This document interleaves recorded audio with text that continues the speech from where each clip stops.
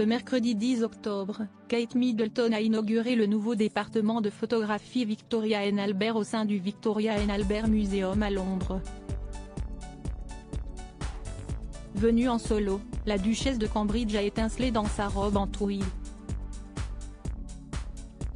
Kate Middleton a toujours aimé immortaliser les moments inoubliables de sa vie familiale.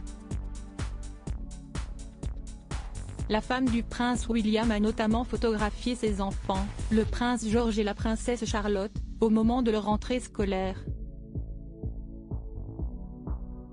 C'est donc tout naturellement que la duchesse de Cambridge a été choisie pour inaugurer le nouveau département de photographie Victoria and Albert au sein du Victoria and Albert Museum à Londres le mercredi 10 octobre. Arrivée seule pour ce deuxième engagement royal en deux jours, Kate Middleton a fait des étincelles dans sa robe grise en tweed signée de la marque Erdem, surmontée d'une ceinture violette.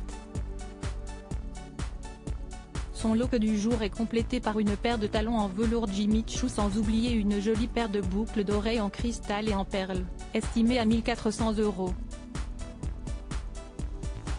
Après avoir été accueillie chaleureusement par la patronne des lieux, la maman du prince Louis, qui a étudié l'histoire de l'art à l'université, a pris le temps de découvrir les trésors de cette nouvelle collection avec plus de 800 000 photos à découvrir.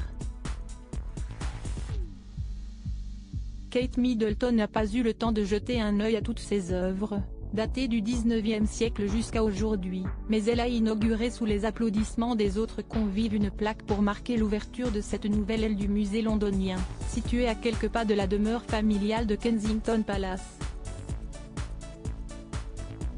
Après sa visite, Kate Middleton a pu rentrer rapidement et retrouver les siens. Cette fois-ci, la princesse britannique n'a pas pu se faire chambrer par son mari, le prince William, sur ses talents artistiques. La veille, le couple est apparu complice lors du sommet mondial sur la santé mentale, au County Hall de Londres.